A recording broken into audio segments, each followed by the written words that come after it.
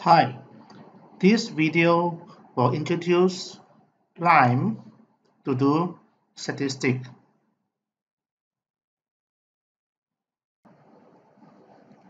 After we have launched KNIME, we are going to open the file.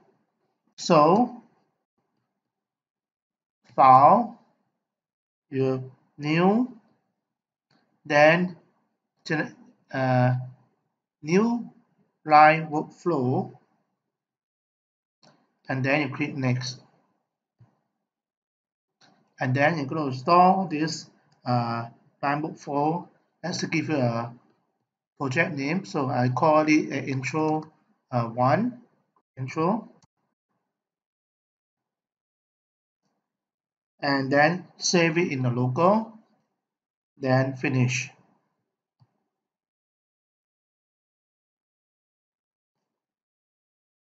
okay. Now in order to import the data we need a file reader. So the file reader you can either use the IO here IO input output there then you can look for what is inside IO the common one you can see the file reader here right? Read. Then you can for example inside there you can see the file reader alright? So this is one way. So we can drag the file reader or we can also search for file reader by typing file. Okay? File reader that it show up there. So let's drag this to the workflow area. So I have a file reader now. Okay. After you have file reader already I must configure the file reader. So right click configure now you need to find the file. So browse the computer. Let's say I have a file which I know is inside the D drive source then I have uh, I'm going to look at the data. So SAE folder there's the data here. So data set. So under intro. So I have data set uh, PIMA. So this data set is about a diagnostic of diabetes. So they have uh, a lot of uh, information like glucose pregnancy and then blood pressure, tricep, insulin, BMI. So if you want to see the whole picture, so extract maximize it. Now, the in this data set, okay, diabetics, for example, is only 0 and 1, whereas 0 and 1 basically means 0 means without diabetics and then 1 means have diabetics, right? So what we're going to do is the data here usually have type. So what you can do is make sure that diabetic is right click the column to change the type. So in this case, it is integer. I want to change it to string. Okay, string. It's not number. Right? This this is actually meaningless to talk about diabetic and being 0 and 1 so we put it as string. Then okay. Right then uh, okay here. Okay okay here. Then you can actually execute. Now the the file ready now let's execute first. So right click execute.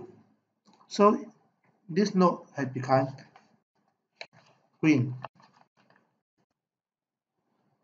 Next I want to create a histogram so I can search for histogram and then I'm going to select histogram interactive. So and then I'm going to drag them in the workflow.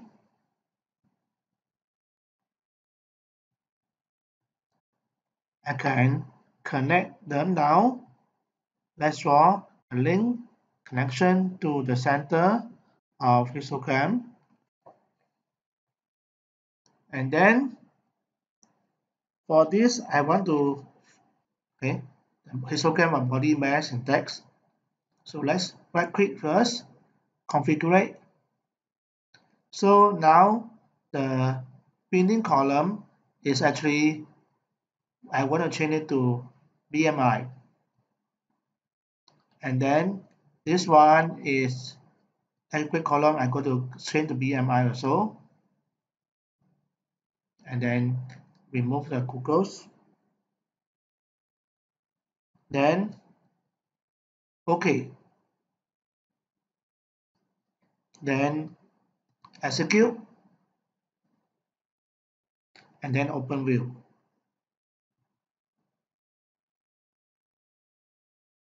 You can execute open view or this is a view interactive here.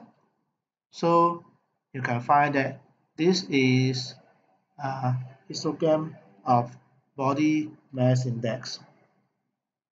You can adjust the bin size by visualizing setting. So adjust the bin size so that you can see the bin size become thicker. It's not, not look like a normal histogram where there is no uh, spacing between them or you can say side by side or maximal stack okay so let's close the histogram and we continue to explore the statistic of this data. Next we're going to look at a bar chart. Uh, the number of the number of women who have diabetics so we're going to first look for color manager first. Color manager. So I drag this to the workflow. And now I'm going to then connect the, the file reader to color manager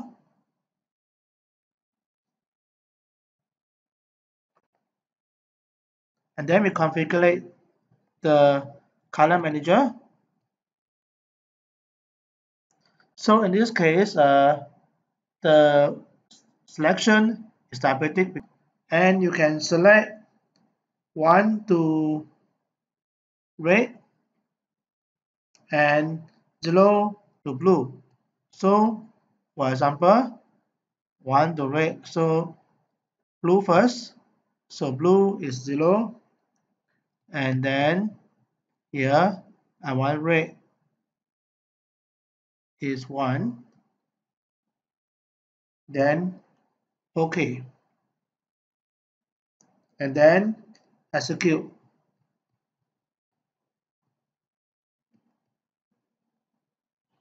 So this is done. Now I'm going to look at the histogram now. So I'll go for histogram. So search for histogram so I'm going to drag this time another histogram link the color manager to histogram. Then configure so in this case binning on of diabetics that will be enough. So okay. Then right click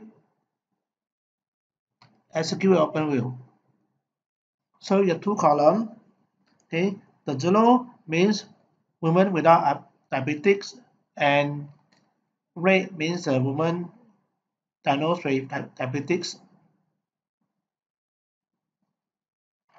so now let's close this histogram. Next I want to construct a box plot to compare women with diabetics and their distribution of body mass index. So the way to do this is draw a construct a conditional box plot here. So conditional plot there are possibility is okay move this conditional box plot here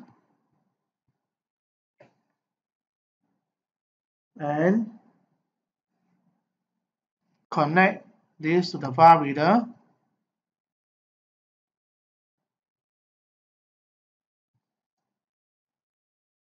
Okay configure on the nominal column is diabetic and the numeric column is actually the body mass index then okay now right click execute and open view the distribution of body mass index for women without diabetics and the distribution of body mass index for women with diabetics.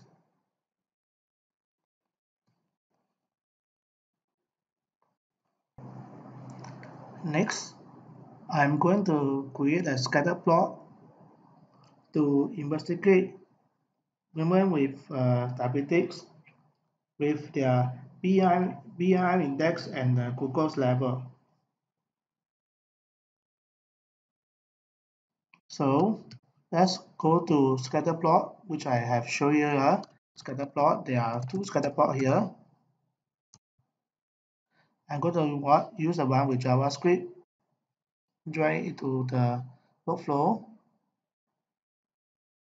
collect color manager to this scatter plot, then configure the scatter plot. The x will be the body mass index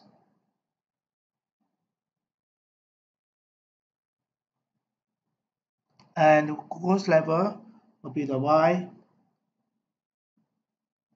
Then okay.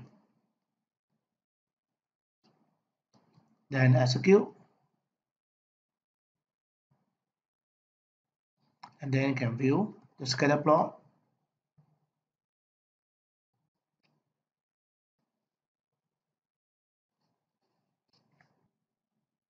So you can view the scatter plot of women with diabetes or without diabetes and their body mass index versus the glucose level